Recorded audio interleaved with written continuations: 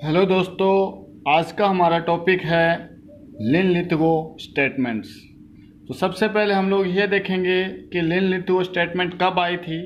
मतलब ये सरकार का एक डॉक्यूमेंट था, ये कब आया था और क्यों आया था, इस पे आपको पता है, जब सेकेंड वर्ल्ड वॉर स्टार्ट हुआ था तो इंडियन लीडर्स ने अपने अपने स्तर पर स्वतंत्रता के प्रयास तेज कर दिए थे। जो वो दो ग्रुप में बंटे हुए थे, एक उग्रवादी ग्रुप था और एक उदारवादी ग्रुप था। और उग्रवादी ग्रुप के लीडर थे सुभाष चंद्र बोस और उदारवादी में Mahatma Gandhi, Sitaram Ramaiah, Jawaharlal Nehru E T C तो सेकेंड वर्ल्ड वॉर के अंदर जो ब्रिटिश गवर्नमेंट थी, वो चाहती थी कि इंडियन सोल्जर्स इस वॉर में पार्टिसिपेट करें। तो इसलिए उस पार्टिसिपेशन के लिए, यानी इनको इंडियन फोर्स को इन्वॉल्व करने के लिए वो इंडियन लीडर से सहमति के लिए प्रयास कर रही थी। तो इसी दौरान उन्नीस सौ अड़तीस में हरिपुरा अधिवेशन होता है और उन्नीस सौ उनतालीस में त्रिपुरा अधिवेशन होता है। उन्नीस सौ अड़तीस में ये होता है और उन्नीस सौ उनतालीस में ये होता है। और 1938 के हरिपुरा अधिवेशन में सुभाष चंद्र बोस प्रेसिडेंट बनते हैं और उस के प्रेसिडेंट बनने के बाद उनका स्पीच, उनका काम करने का तरीका देख करके गांधी जी और सुभाष चंद्र बोस के बीच में मतभेद हो जाता है। और उसके बाद त्रिपुरी में जब उन्नीस सौ उनतालीस में दोबारा अधिवेशन होता है तो कांग्रेस का दोबारा अध्यक्ष बनाने की जब बात चलती है और सुभाष चंद्र बोस जब अध्यक्ष बन जाते हैं तो महात्मा गांधी जी त्याग पत्र दे देते हैं और कहते हैं कि ये मेरे कैंडिडेट की हार नहीं है, जबकि मेरी हार है। और गांधी जी का जो कैंडिडेट थे, वो थे सीताराम रमैया।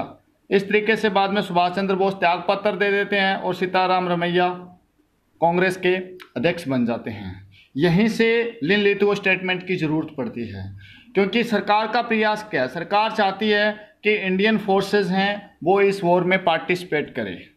तो इसमें जो गवर्नमेंट अपना पक्ष रखती है तो गवर्नमेंट ने एक बात कही कि हम सिर्फ़ ये जानते हैं कि जो ये युद्ध है, वो भेदभाव पे आधारित युद्ध है और हम लोग इसका सिर्फ़ विरोध कर रहे हैं। तो इसके लिए इंडियन फोर्सेस को और इंडियन लीडर्स को हमारा सपोर्ट करना चाहिए। तो उन लोगों ने देखो क्या तरीका अपनाया। उन्होंने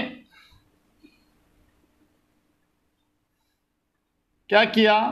मुस्लिम लीग और देसी रियासतें जो थी, उनके राजाओं को भड़काना शुरू कर दिया और उनको कांग्रेस के खिलाफ बोलना। के लिए बोला गया। बोला गया कि आप लोग इस तरीके का माहौल अपने लोगों से कहिए कि कांग्रेस जो कर रही है, वो गलत कर रही है। और इसके बाद में गवर्नमेंट ने अपने स्टेटमेंट में जो बातें कही, उन्हीं को हम लोग लिन लिथगो स्टेटमेंट कहते हैं। और ये जो स्टेटमेंट है, ये 17 अक्टूबर उन्नीस सौ उनतालीस को आई थी। तो इसमें जो सबसे पहली बात थी, वो ये थी, गवर्नमेंट ने ये कहा कि हम लोग सिर्फ़ इस वॉर का इसलिए विरोध कर रहे हैं क्योंकि ये डिस्क्रिमिनेशन पे बेस्ड है। फासिज्म और अदर पावर्स का उस टाइम रोल था तो इसलिए ये कह रहे थे कि हम लोग सिर्फ़ उन लोगों का विरोध कर रहे हैं, उन पावर्स का विरोध कर रहे हैं जो डेमोक्रेसी का अपोज करती हैं। और इससे ज़्यादा ब्रिटेन गवर्नमेंट ने कुछ नहीं कहने से इनकार कर दिया। ये इसका पहली बात। यानी पहला जो स्टेटमेंट था वो ये था कि हम सिर्फ़ डिस्क्रिमिनेशन का अपोज कर रहे हैं। और दूसरी बात इन्होंने ये कही कि अगर ज़रूरत पड़ी, अगर ज़रूरत पड़ जाती है तो हम लोग एक एडवाइजरी कमेटी बनाएँगे, जो ये इस बात पे एडवाइज करेगी कि इंडियन फोर्सेस को किस लेवल तक इन्वॉल्व होना चाहिए वॉर का तरीका क्या होना चाहिए, उसमें आपके लोगों को भी इन्वॉल्व किया जाएगा। और इससे ज़्यादा कुछ भी इन्होंने कहने से इनकार कर दिया। और जो एक बात उन्होंने बोली, वो मैंने आपको स्टार्ट में बता दी थी इन्होंने कहा कि हम इस वॉर का अपोज क्यों कर रहे हैं, वो इन्होंने रीज़न बताया। और एक बात जो इन्होंने बोली, इन्होंने प्रॉमिस किया कि जैसे ही वर्ल्ड वॉर सेकेंड ख़त्म हो जाएगा तो हम लोग जो रिप्रेजेंट जो पावर्स हैं अलग अलग पावर्स जो अलग अलग आइडियोलॉजी अलग अलग रिलीजन और अलग अलग बेस पे ग्रुप्स हैं, उन सबको एक मंच पे लाया जाएगा और उनसे पूछा जाएगा कि भाई इंडियन रूलिंग एक्ट 1935 में किस तरीके का अमेंडमेंट किया जाए और किस तरीके के नए प्रोविजंस डाले जाएँ।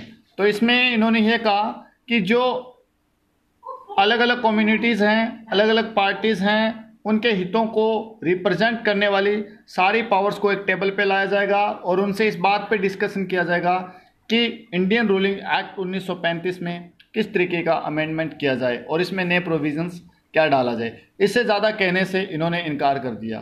तो ये जो तीन बातें हैं, ये वो स्टेटमेंट था मतलब कि गवर्नमेंट की स्टेटमेंट थी ये। थैंक यू और इस लेक्चर का पीडीएफ मैंने नीचे दे दिया है, वहाँ से